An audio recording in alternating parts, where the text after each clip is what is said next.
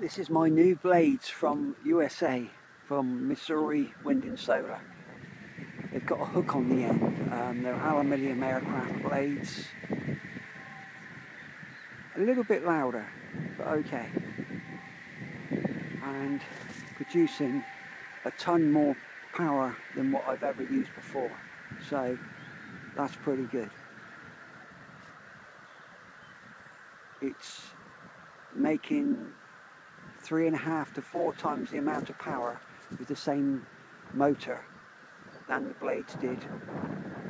These are three Mach 4 blades from Missouri Wind and Solar with a hub as well.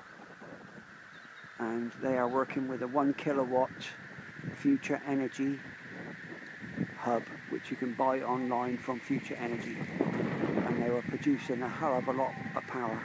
Quite unbelievable, really. That's it. Great stuff.